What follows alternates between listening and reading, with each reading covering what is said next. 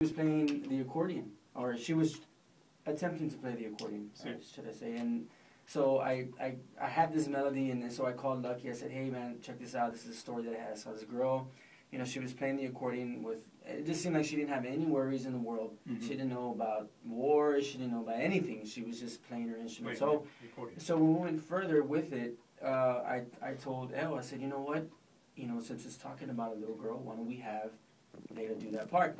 And so the whole idea with it is that if you're listening to the CD and you have, and say you're listening to the Elida CD, and you know, maybe your your little ones are getting bored in the back. Well, if they listen to this song, they may tend to want to listen to this song because there's a little kid singing, you know. Yeah. So that was the whole idea, and and it just sort of fit. And you know what? She went in there, and she went in there, and and She she. knocked it out of the Yeah, I mean, I was, it out the we were banana. punching her in like it was nothing. She was ready on cue. I, I freaked out, man. I freaked out. So the song is called Niña, and we had our, our six year old daughter uh, do a little piece on there. So Check it out, Niña.